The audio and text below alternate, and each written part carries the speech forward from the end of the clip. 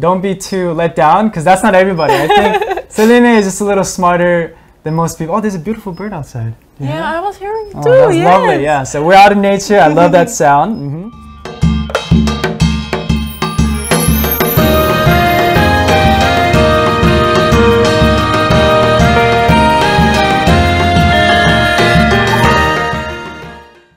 Hello, everyone, and welcome back to Korean Rhapsody. We're here with a brand new season, season two of Korean Rhapsody. Now, this season, it will be more focused on you, our lovely viewers. We'll be sharing some stories that you sent us and be communicating, empathizing, and giving you some advice. I am so excited for this. Now, after we share the stories, we'll be playing some traditional renditions of songs that we recommend. So mm-hmm. please stay tuned for that. We do have a new guest that we need to introduce. Well, hello everyone. I'm I'm Selene and I'm from the Netherlands. And I'm also working as a model and an actress. Ah, model and an actress. Yes. So how was it when you first came to Korea? One thing that I actually really um, was different compared to, I think, the Netherlands, but also more Western countries, is that how kind Korean people are, even to people who they don't know. Like they will just help you if you ask them. So I was really touched by that. That's something we call 정. Oh, 한국의 정. So you were 한국의 touched 정. by the Korean 정 and you Yes. fell in love, which is Yes. I heard that for our first episode, we have Mm-hmm. a special story waiting for us. great. Yes, we do have a very special Oh. story. This was recorded by my voice, so it might be a little bit funny, but I'm sure you guys will have some fun with it. Hello, I came from Mexico four years ago to live in Korea. I'm currently a student here in Korea, and I had a lot of interest in Korean music, so I decided to come and live here to learn more about it. I love all Korean songs, but my all-time favorite is the Korean traditional song. This was back when it was Chuseok. The doors are on your left. Subways in Korea are so complicated, and there's so many lines and so, so many people. I was so fascinated by all the eye-catching scenery until I realized that I was the only one who came alone. As I was starting to feel lonely, these two elderly couple came up to me. Excuse me, young lady, where did you come from? I'm from Mexico. Well, you came from far away. How is Korea so far? Sometimes I faced some difficulties, but I met a lot of nice people and they helped me adapt. Still, it must be difficult for you to adapt here. Are you eating well? Food is the best medicine. Did you eat? I was in a hurry today, so I did not get to eat yet. Oh dear, you must be hungry. Honey, do you know it's Chuseok today? There is a food you must eat on Chuseok Day. We really appreciate you having interest in our culture from a country so far away. This is called Songpyeon. This is a food you must eat on Chuseok Day. Also, this is hobakjeon and baechujeon. Make sure you heat it up before you eat it. I still can't forget their facial expression when they handed me their food. Even though I was at the festival all by myself, my way back home was filled with warmth. Mmm, wow, what a wonderful story. That was some amazing Yes. voice acting. I It wonder who was. did it, right? Wow. Anyway, so the summary of the story is about Korean 정, 한국의 정. Yes. So, ladies and gentlemen, this is a classic example of the Korean 정. 이게 바로 한국의 정. Yeah, it's very, it's a very big thing in Korea. So, if you come to Korea, you'll have many instances where you will feel this loving, caring, warm Yeah. connection, even with strangers. Okay, it's time to play the first song that we recommended on today's episode. Now, Selene, which song did you prepare for us? Well, actually, I chose mm-hmm. I Give You My Heart by IU. Ah. It's an OST from Crash Landing on mm. You. And I'm a really big fan of that drama. Mm. Also, I'm a really big fan of Hyunbin.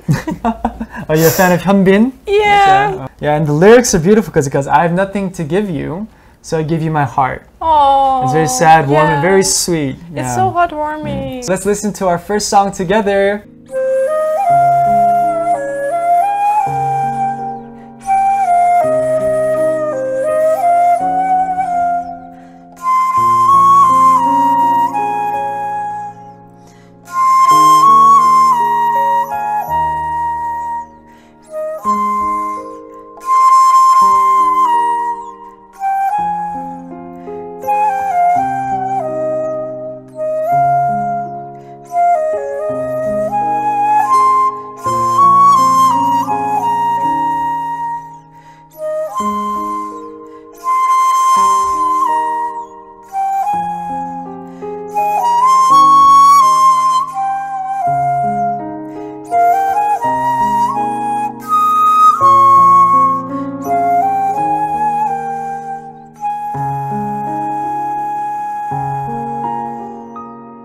Was such a beautiful rendition. Yes, You chose so the perfect beautiful. song. It harmonized very well and went very well with the daegeum. Oh, that was so beautiful. Like I like the original song, but Mm. this just gives like a whole completely different emotion and feeling. Now it's time to hear our second story for today's episode.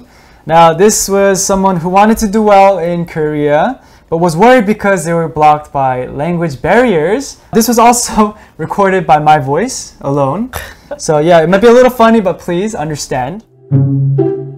Hello, I'm from Denmark, and in a few days it will mark one year since I came from home. I love learning different languages, so I decided to learn Korean because it had the least characters to learn out of all the other Asian languages. But I thought wrong. Korean was actually few of the languages that was known to be very hard to learn. Today, let's talk about food in Korean. What's your favorite food? My favorite is chicken. Fried chicken is my favorite. You're right, chicken is very delicious. What do you drink with chicken? Uh, drink? I just drink Coke. That. Using the word that is not fitting for situations like this. You only use it when an object is far away from us. There is no Coke in front of us. At that very moment, my mind went blank. I always think that I could do better, but whenever I start conversations with my teacher, I realize I get so nervous. One day, I was going to order delivery food with my friend. Hey, what do you want to eat? Uh, I want to eat pizza. Okay, I'll go get some snacks. Could you order the pizza? Cool it down? Cool what down? There's nothing to cool down. No, no, I mean order it, not cool it down. Oh, you mean order.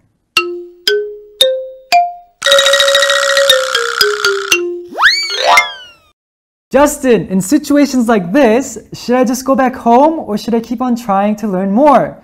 Please help me. That was, but that was amazing voice acting. Yeah, it was- it the was- voice acting. But yeah, Applause. but no, don't go back home. Stick around because you're doing great. Because I think learning a new language is always intimidating and can be very, very difficult. yes, But it's true. starting something is always half the battle. So, Lena, how about you? Well, when you learned Korean Mm-hmm. specifically, how did you learn it? Well, how did you go about it?